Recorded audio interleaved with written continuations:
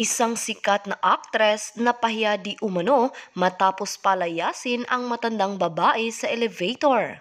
Nako, isa na namang bagong kontrobersiya ang kakaharapin ng aktres na ito. Halikayo't alamin kung sino itong sikat na aktres at bakit pinalayas niya ang isang matandang babae.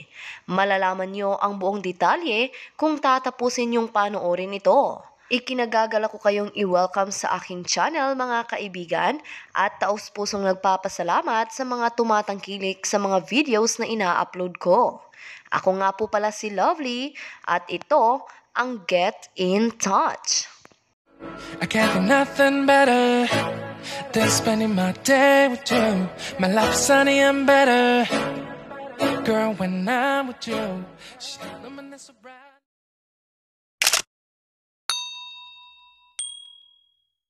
Bahagi na ng buhay ng isang artista ang pagiging sangkot sa mga kontrobersiya dahil ang mga celebrities ay laging nasa mata ng publiko. Hindi rin nakakapagtataka kung bakit lagi silang napapalibutan ng mga isyu. Sa showbiz industry sa Pilipinas, marami ring sikat na urban legends tungkol sa ating mga sikat na personalidad. Hindi rin nakakapagtaka sa mga tao kung masangkot man ang sikat na aktres na ito sa kontrobersiya dahil nga ay palaging napapanood sa telebisyon na may issue ito, lalo na sa kanyang mga kapatid. Hinahangaan noon ang sikat na aktres na ito dahil magaling umarte sa harap ng kamera, pati na rin ang kanyang mga kapatid. Pero tumigil na siya sa pag-aartista simula nang maging isang other half siya na isang sikat na businessman. Marami na nga raw siyang pera at pwede nang hindi magtrabaho pa. Magantay na lamang sa kanyang bahay. Isa lang ang kanyang anak na talagang ipinagmamalaki niya sa buong mundo. Pero ito naman ay kinaiinisan ng ibang mga tao kahit anong gawin nila dahil sikat sila at may mga tao talagang hindi mo maipiplease kahit na gawin mo pa ang anong gusto mo.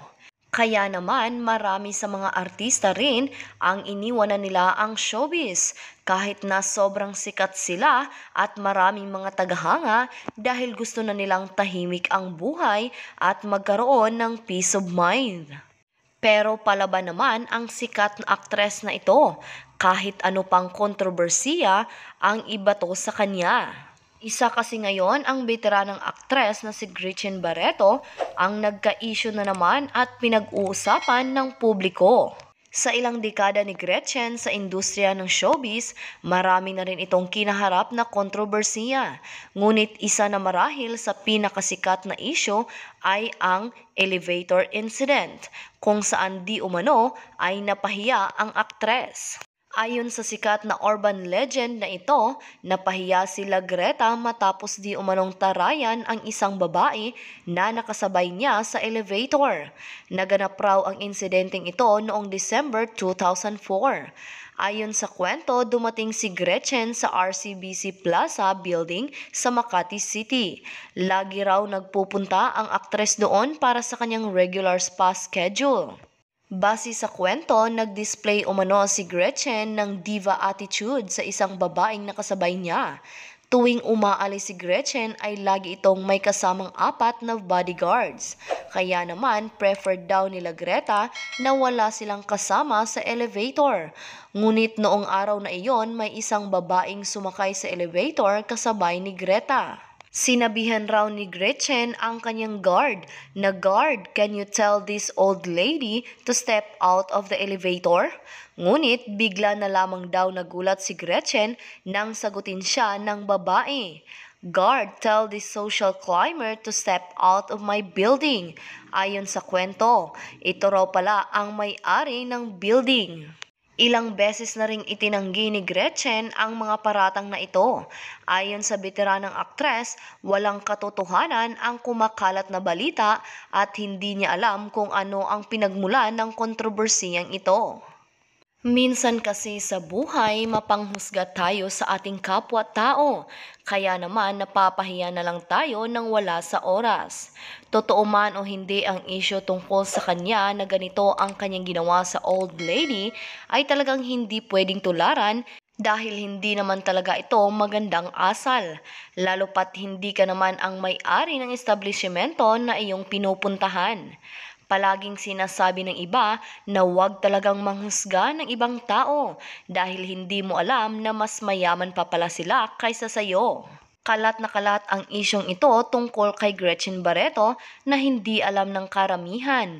Ano kaya ang magiging reaksyon ng iba tungkol dito? Meron kasi isang netizen ang nagpadala ng mensahe kay Gretchen Barreto. Ayon sa kanya, Dear Idol at Gretchen Barreto, I'm so frustrated about the RCBC elevator issue between you and the owner of the building. It's all over FB. Is that true? I'm sure you have a good reason for what had happened. Ang mga tagahanga kasi minsan ay nag-aalala rin sa kanilang iniidolo dahil ayaw nila itong mapasama sa mga tao. Kaya naman nadidisappoint minsan ang mga fans sa mga hindi magandang ginagawa ng kanilang mga idols. Siguradong marami na naman ang magsisilabasa ng mga bashers niya pero siya lamang at ang Diyos ang nakakaalam ng mga bagay na iyan kung hindi man niya aminin sa publiko dahil sobrang nakakahiya naman talaga ang bagay na iyan. Ang kontrobersiya ay lilipas din yan. Kahit anong trending pa yan sa social media, ay darating din ang time na mawawala na rin ang lahat dahil mapapagod rin naman ang tao sa kakapasa ng ganitong issue. Parang hindi naman ata ganun kasama si Gretchen sa isang tao. Napapalayasin talaga at ayaw makasabay ito sa isang elevator lang. Okay lang sana kung ang pinag-uusapan ay sa kwarto. Talagang marami ang hindi papayag sa ganyan. Ano ngayon ang inyong masasabi tungkol sa ating pinag-usapan? Huwag kayong mahiyang magbigay ng inyong reaksyon o komento sa comment section na ito. Kung ikaw at iyong kaibigan ay mahilig sa mga celebrity updates, ay huwag kalimutang mag-subscribe, i-like at i-share sa kanila para maging updated din sila.